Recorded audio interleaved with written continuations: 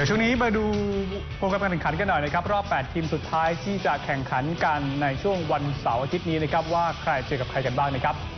เต็มพุ้นมาทุกทีแล้วนะครับสำหรับการแข่งขันในรอบแชมเปี้ยนส์ลีกเหลือ 8 ทีมแล้วนะครับ ไปดูกันหน่อยครับค่ะสมุทรสาครค่ะ FC ครับ เจอกับตราด FC ในช่วงเวลา 18นาฬิกาของวันเสาร์ที่ 1 ตุลาคม คู่นี้ช่องนาว 26 ก็จะถ่ายทอดสดด้วยนะครับค่ะครับ ตามด้วยหนองบัวพิชยะจะเจอกับอุดรธานีนะครับภาคเหนือเจอกับภาคอีสานนะครับค่ะวันอาทิตย์ที่ 2 ตุลาคมค่ะมี 2 คู่ที่น่าสนใจนะคะเวลา5โมงเย็นเกษตรศาสตร์ FC เจอกับราชประชา ส่วนเวลาประมาณ6โมงเย็นค่ะกำแพงเพชร FC จะเจอกับสุราษฎร์ธานี FC ค่ะครับ